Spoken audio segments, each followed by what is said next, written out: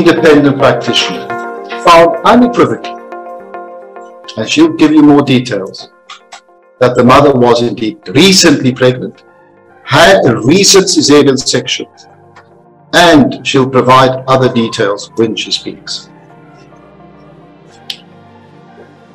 Subsequent to that, subsequent to that, we launched further investigations into the conduct of these doctors, the nurses, hospital administrators, including accessing through sources, in some cases, the bank accounts. What we discovered was really devastating. Really devastating.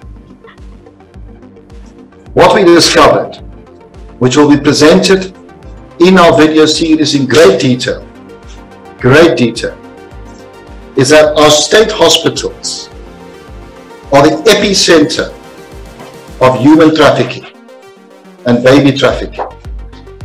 We can say unequivocally, this happens at Steve Biko Academic Hospital, Tembisa Academic Hospital, Tembisa Hospital, and George Mukhari Hospital.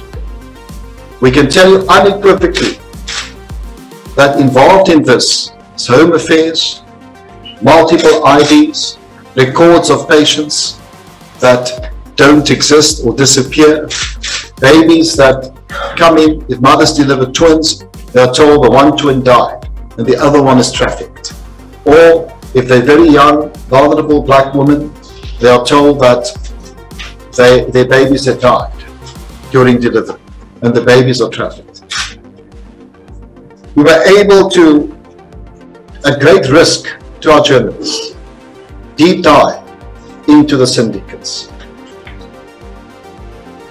and uncover horrific, horrific stories of how these babies are trafficked from Gauteng through to Mpumalanga, through to West Africa, and also to Europe and the United States. About 50% of the babies are given for adoption. The other 50% are used for muti, cosmetic surgery, and stem cells.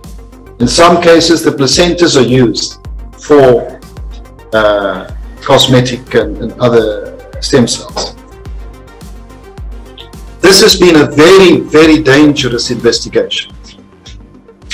It has put at risk our journalists and our investigators. In fact, many of them have been stopped by none other than police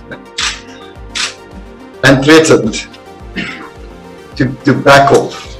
Many of them visited the doctors within 10 minutes of them being there. 10 minutes later, police cars arrived